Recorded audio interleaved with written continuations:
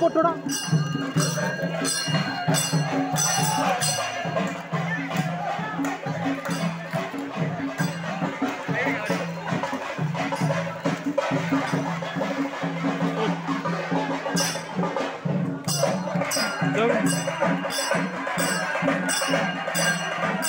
Thank you.